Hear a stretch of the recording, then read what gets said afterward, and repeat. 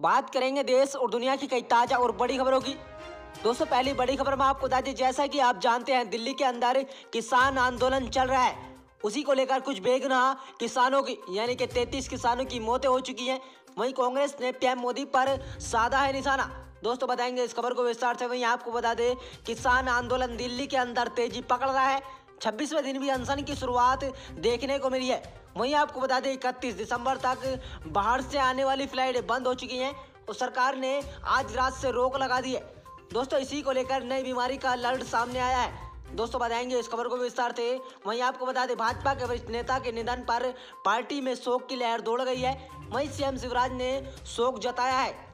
दोस्तों, बताएँगे सभी खबरों को विस्तार से, लेकिन आप गोदी मीडिया का विरोध करते हैं तो इस वीडियो को लाइक कर लीजिए और आप हमारे चैनल पर नए हैं तो चैनल को सब्सक्राइब कर पास में लगे बेल आइकन को भी दबा लीजिए, ताकि देश भर से सभी बड़ी खबरें आपके पास सबसे पहले पहुँचे। दोस्तों, पहली बड़ी खबर में आपको बता दें, अब तक तैतीस किसानों की मौतें हो चुकी हैं। वहीं कांग्रेस ने पीएम मोदी पर निशाना साधा है। केंद्र के नए कृषि कानून के खिलाफ किसानों का विरोध प्रदर्शन 26वें दिन भी जारी है। वहीं किसान आंदोलन पर प्रधानमंत्री नरेंद्र मोदी के मौन पर कांग्रेस ने सवाल उठाया और पूछा कि उन्होंने 33 प्रदर्शनकारियों की मौत पर अब तक कोई शोक प्रकट क्यों नहीं किया है? वहीं कांग्रेस नेता राहुल गांधी ने आंदोलन के दौरान जान गंवाने वाले किसानों को नमन करते हुए कहा कि किसानों का एक संघर्ष और बलिदान अवश्य रंग लाएगा। उन्होंने ट्वीट में लिखा किसानों का संघर्ष और बलिदान अवश्य एक दिन रंग ज़रूर लाएगा। और किसान भाइयों, बहनों को नमन और श्रद्धांजलि कांग्रेस प्रवक्ता समा मोहम्मद ने संवाददाताओं से कहा कि आंदोलन के दौरान 33 किसानों ने अपनी जान गंवा दी और आंदोलनरत किसान संगठनों के अलावा कांग्रेस में रविवार को श्रद्धांजलि दिवस मनाया जा रहा है। और दोस्तों, उन्होंने सवाल किया कि लेकिन हमारे प्रधानमंत्री चुप क्यों हैं? और श्री अमित शाह जी भी चुप क्यों हैं? और योगी आदित्यनाथ भी चुप हैं? वहीं प्रधानमंत्री नरेंद्र मोदी ने एक शब्द भी नहीं बोला।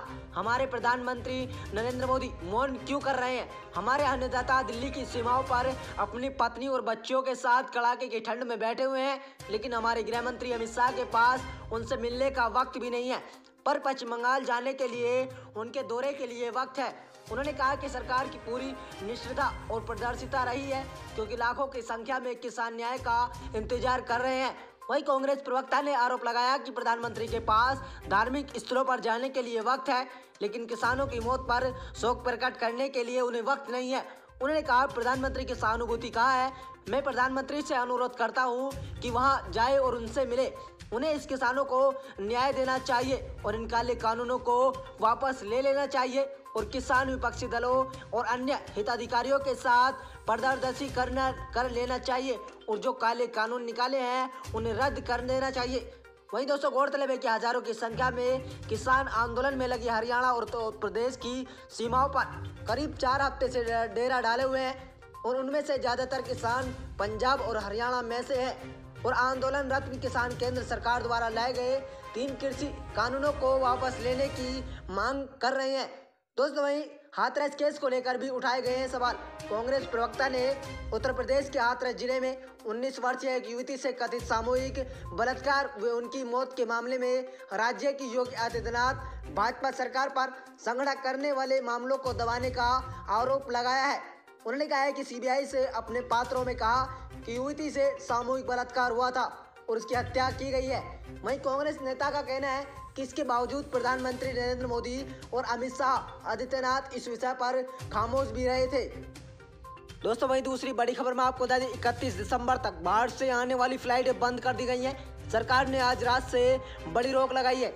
दोस्तों, इसी को लेकर नई बीमारी का अलर्ट जारी किया गया है। कोरोना वायरस के नए स्ट्रेन मिलने की वजह से चारों तरफ़ हड़कंप मच गया है, जिसकी वजह से कई यूरोपीय देशों ने ब्रिटेन से आने, जाने वाली मानसिक प्लेनों को रद्द कर दिया है।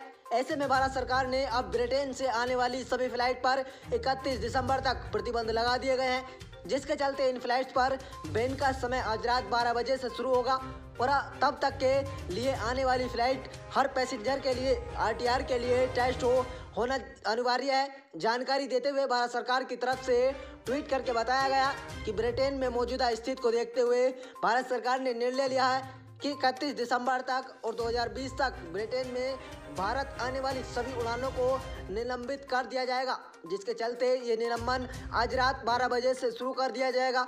फ़िलहाल उससे पहले आने वाले लोगों के लिए आर टी टेस्ट को ज़रूर कर देना चाहिए।